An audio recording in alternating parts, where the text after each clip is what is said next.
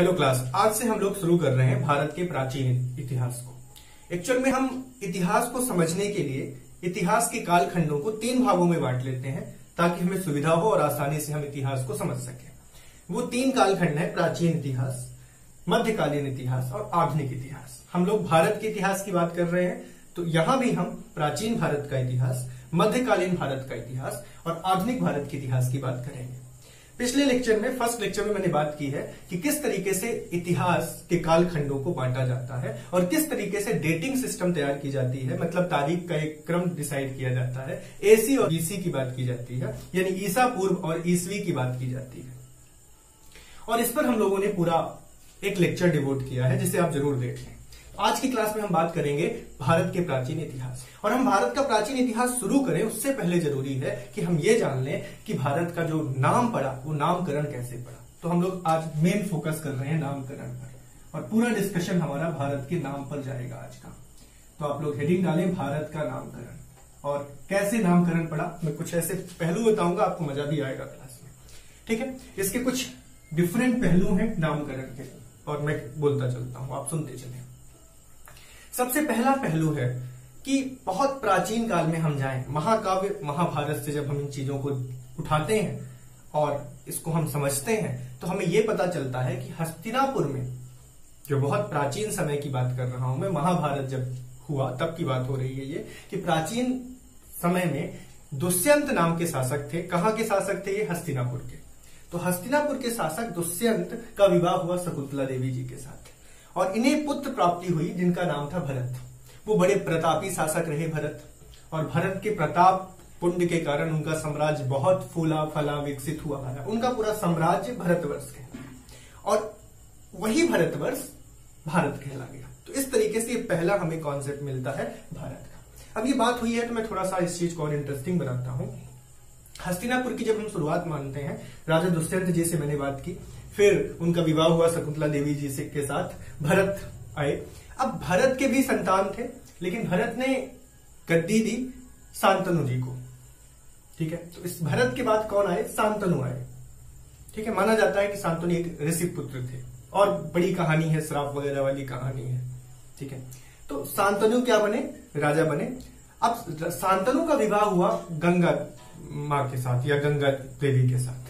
अब ये कहानी थोड़ा पौराणिक कहानी है और इसका कॉन्सेप्ट पुराने जन्म से है, कि पुराने जन्म ने श्राप मिला था और श्राप के कारण इन्हें आना पड़ा धरती लोक में और इनका विवाह हुआ। अब यहाँ पे एक कहानी वसुओं की भी आती है। वसुओं को भी श्राप मिला था। वशिष्ठ ऋषि ने उन्हें श्राप दिया था कि भाई उनकी नंदनी गाय को को इन लोगों ने, वसुओं ने क्या किया था? नंदनी गाय एक ऐसी गाय थी जिससे आप जो भी मांगो मिल जाता था। तो नंदनी गाय को वसुओं ने क्या किया था? चोरी कर ली थी। तो उन वसुओं वसुओं को श्राप दिया गया था, ऋषि वशिष्ठ जी के द्वारा, कि आपको, आपने जो कृत्य किया है, ये मृत्यु लोक वाली कृत्य है। ये ऐसी कृत्य है जो कृत्य मनुष्य करता है। और आपने ऐसी कृत्य की है तो आपको मनुष्य लोक में जाना पड़ेगा। और पाप के चलते ये सभी वसु को दंड भोगना था मृत्यु लोक में। यानी आपके धरती लोक में कह सकते हो। तो उस वो आठ वसु थे, बड़े प्रतापी थे उस टाइम पे। और वसु वसुओं का कॉन्सेप्ट हमारी मिथोलॉजी में क्या चलता है कि ये नेचर को संभालने का काम करते हैं। ऐसे कई तथ्य हैं या तत्व हैं जो नेचर को संभालते हैं। उन तत्वों में से एक वसु है। तो वो जो आठ वसु थे, वो फिर गंगा माँ के पास गए। तो उन्होंने बोला कि भाई हम तुम्हारे, हमको तारेंगे तुमको, अपने कोख में जन्म देकर, अपने कोख से तुम्हें तारेंगे। तो जब शांतनु और गंगा जी का विवाह हुआ तो शर्त रखी गई थी गंगा जी के द्वारा कि भाई, हम कुछ भी करेंगे, आप उसमें टोकेंगे नहीं। तो ये वचन ले लिया था उन्होंने। तो जब उन्हें पुत्र प्राप्त होते रहे, होते गए तो सात पुत्रों को उन्होंने गंगा नदी पे बहा दिया। अब जब आठवें पुत्र की बारी आई तो शांतनु जी ने टोक दिया, जिसके चलते गंगा जी चली गई और अपने पुत्र को साथ ले गई। फिर वहाँ स्वर्गलोक में उनकी अच्छी शिक्षा दीक्षा हुई, बाद में फिर वो यहाँ छोड़ गई शांतनु जी के पास।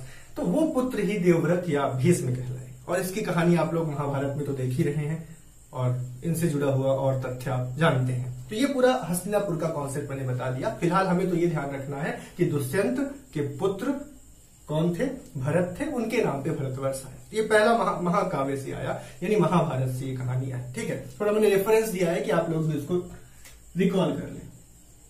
थोड़ा सा और जोड़ लें चीज़ों को क्योंकि मज़ेदार हम लोग इस इतिहास को हिस्ट्री को ऐसे ही बना सकते हैं। अब दूसरा तथ्य हम आते हैं।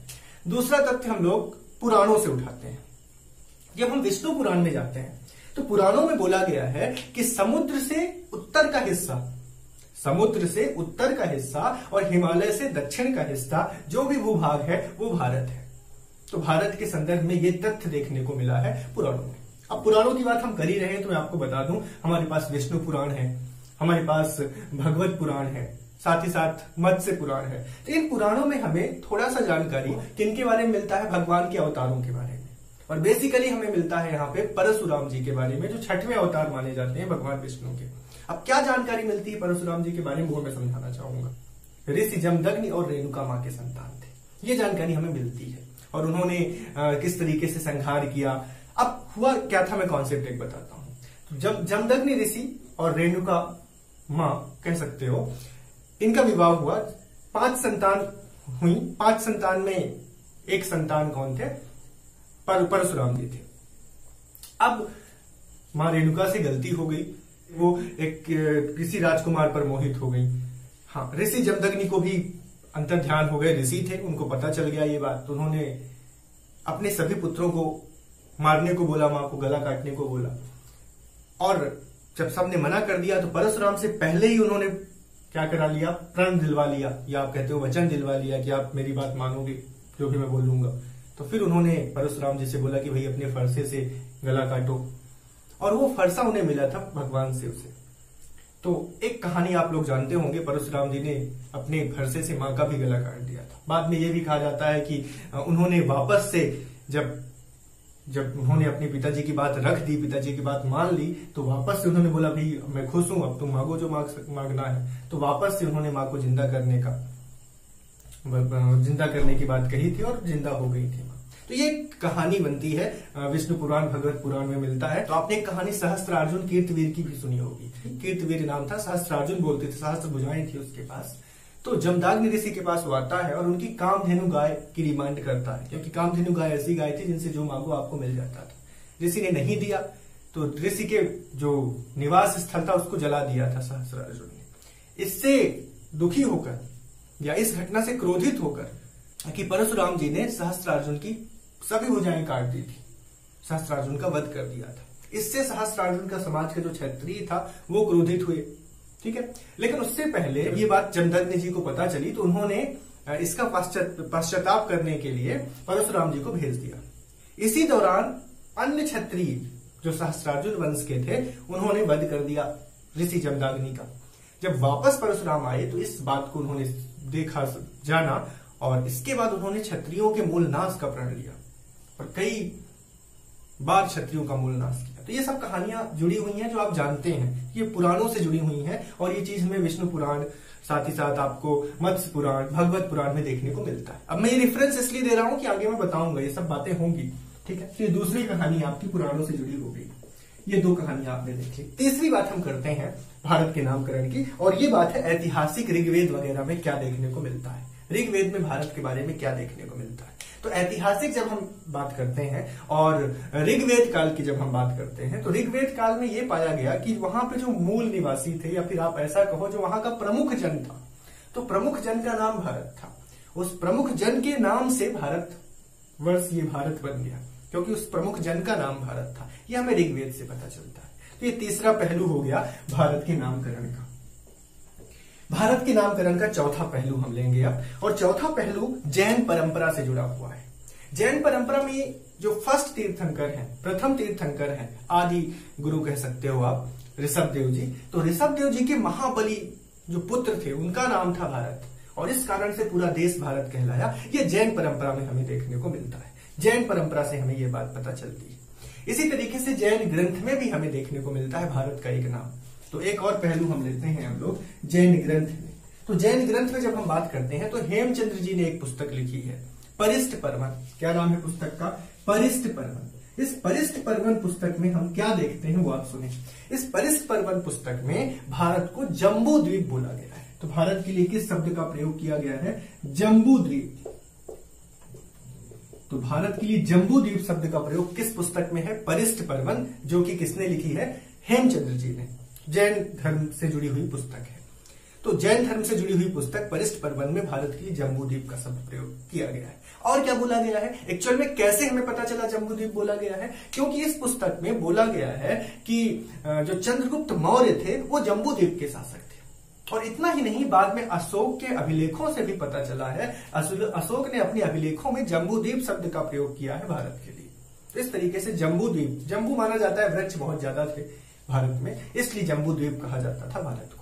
तो एक ये नामकरण की कहानी हमें, पाँचवें नामकरण की कहानी हमें मिलती है कि जम्बू द्वीप भारत को बोला जाता था। ठीक है? मैं ये सभी पहलू पहले समझा रहा हूँ, फिर मैं लास्ट में मेन मेन चीज़ें भी बता दूँगा। एक समराइज क्विकली में कर दूँगा कि क्या क्या आप याद रखें।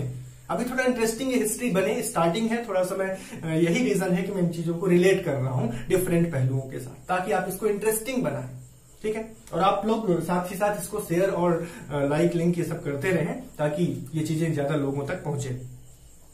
चलिए नेक्स्ट हम लोग पहलू लेते हैं सिक्स पहलू लेते हैं कि किस तरीके से भारत के नाम की बात और होती है, कहाँ होती है। तो कौन बोला भारत को सप्त सैंधो तो भारत को सप्त सैंधो एक तो आर्य बोलते थे।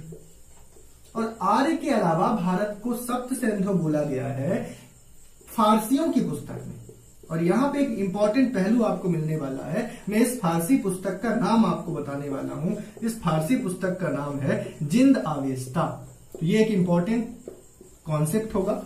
और बाद में जब हम स्रोत की बात करेंगे, तब भी हम जिंदावेस्ता की बात करेंगे। और पूछा भी जा सकता है कि फारसी ग्रंथ की पुस्तक है इनमें से तो जिंदावेस्ता है। तो जिंदावेस्ता में भारत के लिए जिस शब्द का प्रयोग मिला है, वो सप्त शब्द का प्रयोग है।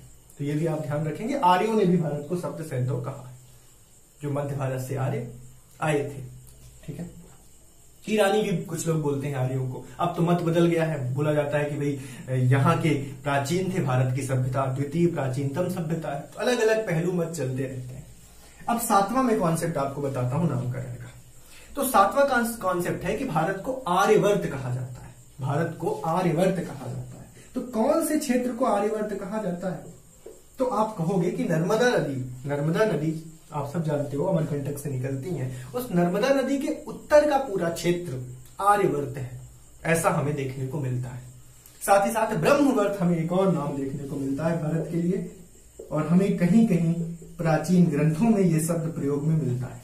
तो ऋग्वेद काल की मैं एक बात बताता हूँ आपको। ऋग्वेद में सरस्वती नदी की बात जब की जाती है तो ऋग्वेद में सरस्वती नदी के लिए पवित्रतम शब्द प्रयोग है। पवित्र नदी बोला गया है और सबसे पवित्र नदी सरस्वती नदी को बोला गया है। और सरस्वती नदी के साथ एक दृष्टवती नदी का भी ज़िक्र एक बार ऋग्वेद में मिला है। तो माना जाता है कि सरस्वती नदी और दृष्टवती नदी अभी वर्तमान में तो सरस्वती नदी दृष्टवती नदी दोनों ही नदियाँ विलुप्त हैं या हमें नहीं दिखती हैं, नहीं पता चलता है इनके बारे में। लेकिन माना जाता है कि प्राचीन काल में ये नदियाँ बहती थी। तो सरस्वती नदी और दृष्टवती नदी के जो बीच का क्षेत्र है, जो भूभाग है, उसे बोला जाता था ब्रह्मवर्त। तो ये आठ पहलू अब तक मैंने आपको बता दिए।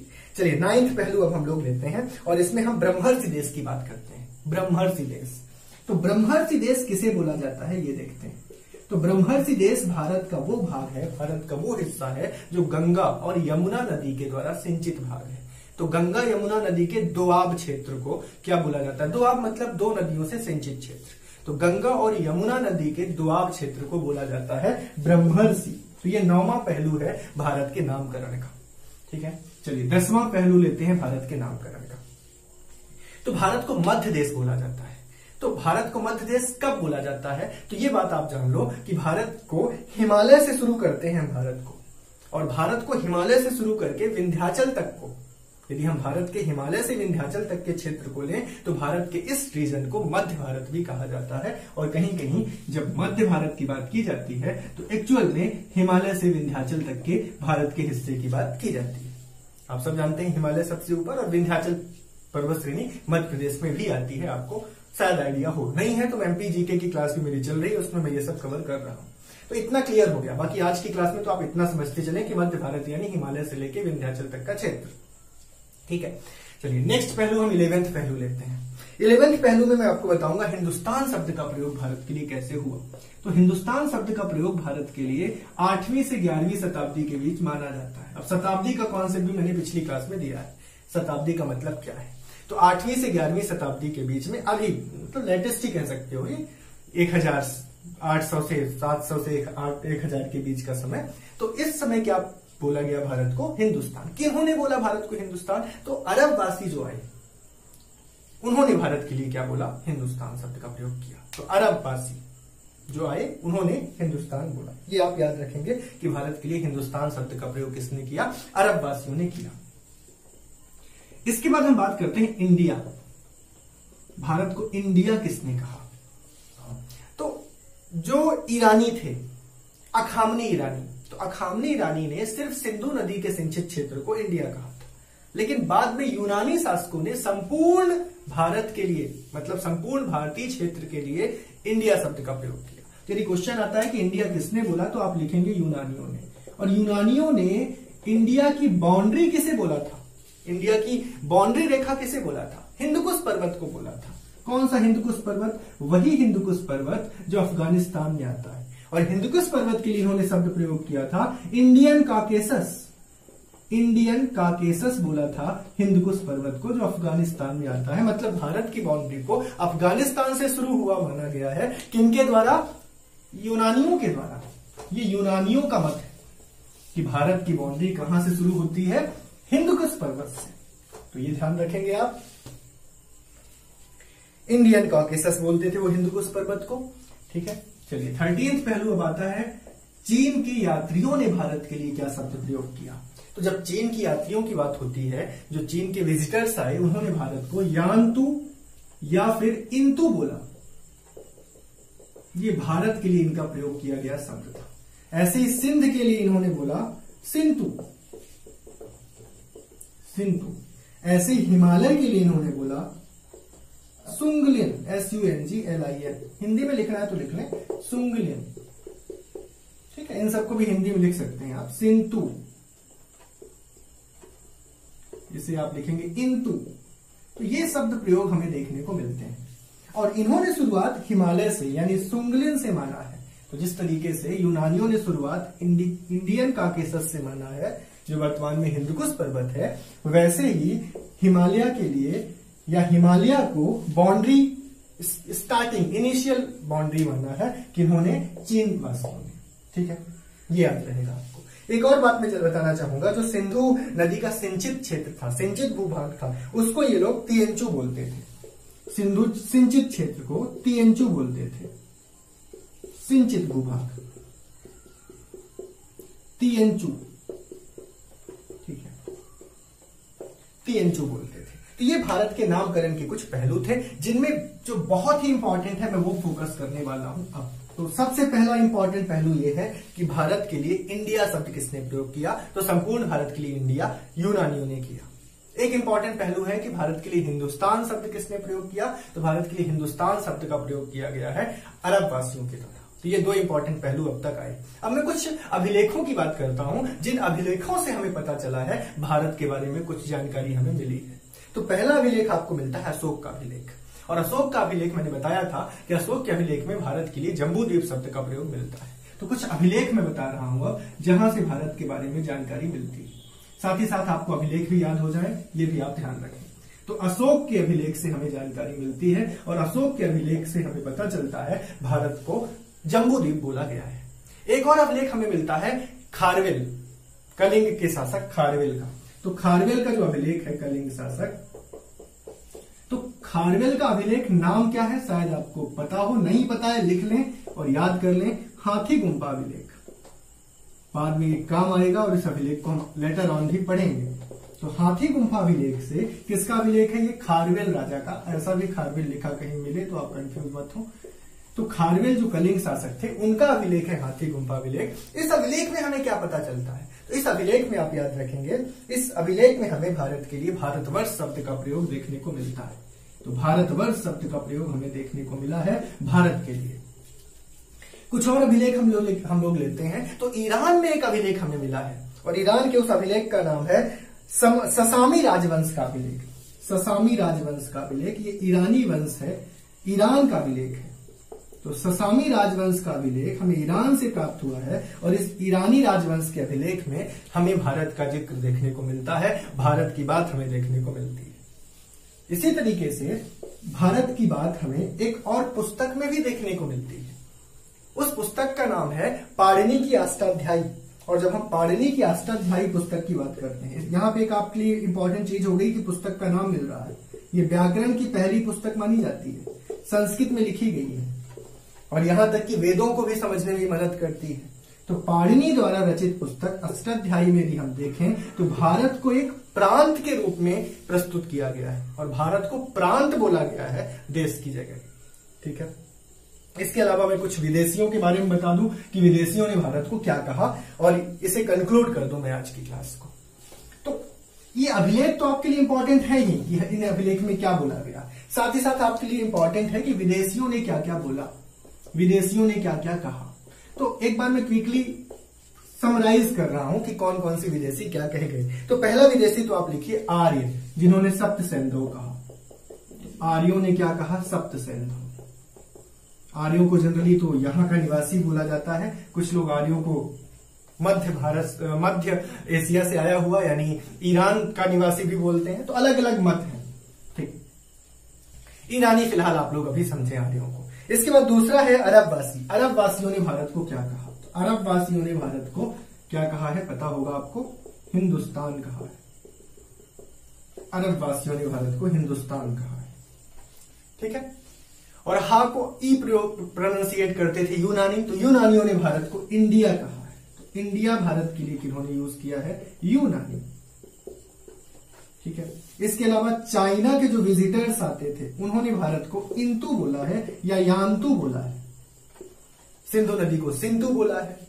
हिमालय को उन्होंने क्या बोलता है? सिंगलिन बोला है। और सिंधु नदी के सिंचित क्षेत्र को क्या बोला है?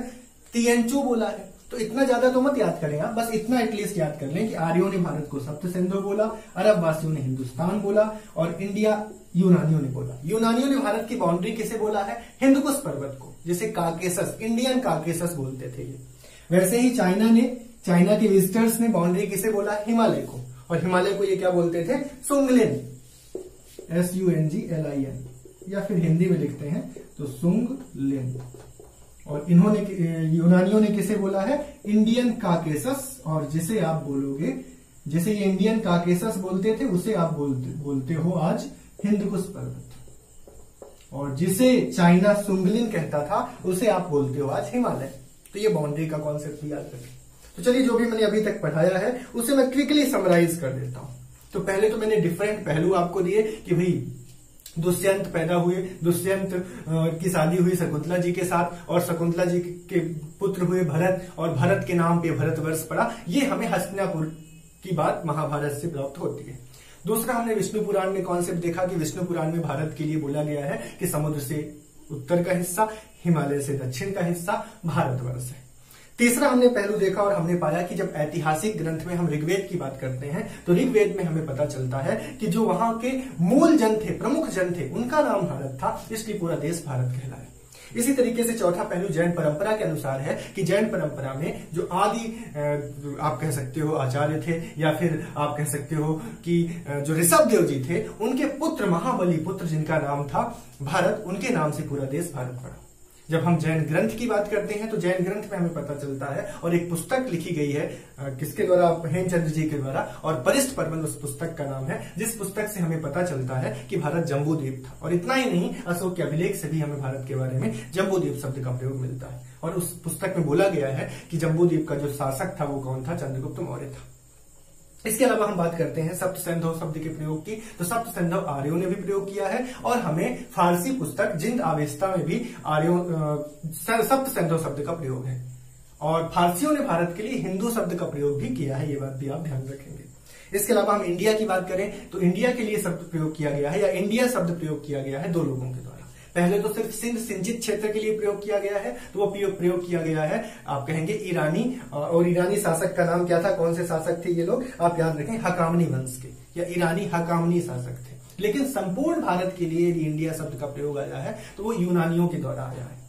ठीक। इसके अलावा हम आर्यवर्त की बात करते हैं तो नर्मदा नदी के उत्तर का क्षेत्र, और जब हम ब्रह्मवर्त की बात करते हैं तो सरस्वती नदी दृष्टवती नदी के बीच का क्षेत्र।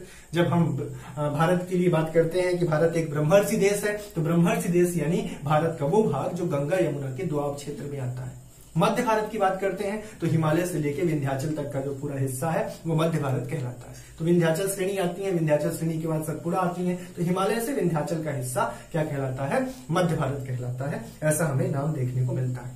इसके अलावा भारत के लिए जो शब्द हिंदुस्तान प्रयोग किया गया है, वो अरब वासियों द्वारा किया गया है, और सिंधु प्रयोग हिंदू शब्द का जो प्रयोग आया है, वो किसके द्वारा आया है? आप कह सकते हो कि फारसियों द्वारा आया है। इसके अलावा चीन ने भारत को इंतु या यान्तु कहा है। और चीन ने हिमालय को क्या कहा है? सुंगलिन कहा है। और हिमालय से ही भारत की बाउंड्री की शुरुआत इन्होंने मानी है।